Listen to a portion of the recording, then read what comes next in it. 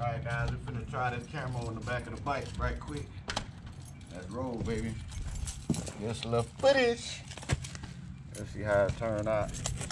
Camera turned sideways, so I don't know how that's gonna work, but. Uh-oh. Got my bike was might have been again.